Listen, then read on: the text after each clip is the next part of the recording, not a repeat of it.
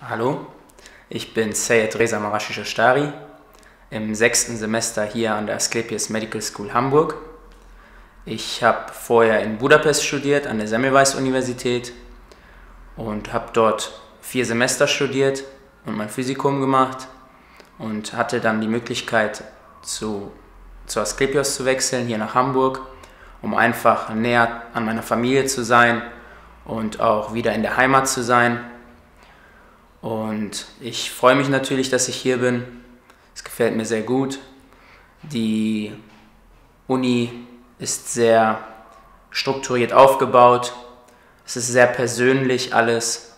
Man grüßt sich auf dem Gang, wenn man sich trifft.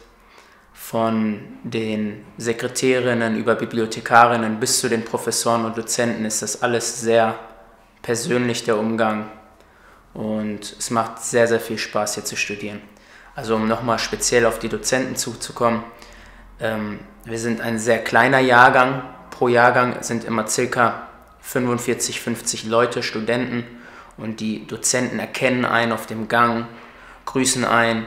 Und es ist einfach viel harmonischer, das Ganze. Und, und äh, es macht sehr, sehr viel Spaß. Und ähm, natürlich auch der Unterricht ist viel, viel effektiver, wenn man in kleinen Gruppen ist und auch am Patientenbett. Es ist sehr viel effektiver und sehr viel hilfreicher, so zu lernen. Zusätzlich ist hier ähm, sicherlich das Mentorenprogramm zu erwähnen. Das ist ähm, quasi, dass Chefärzte von den Asklepios-Kliniken äh, circa fünf, sechs Studenten an die Hand kriegen und verschiedene Freizeitaktivitäten mit den Studenten machen und quasi als erster Ansprechpartner fungieren. Und ja, da habe ich zum Beispiel mit meiner Gruppe, waren wir dann im Schanzenviertel. Unser Mentor hat uns Hamburg gezeigt. Wir haben eine Pizza zusammen gegessen. Das ist sehr interessant und auch sehr schön, dann nochmal einen Ansprechpartner zusätzlich an die Hand zu kriegen, mit dem man seine Schwierigkeiten besprechen kann.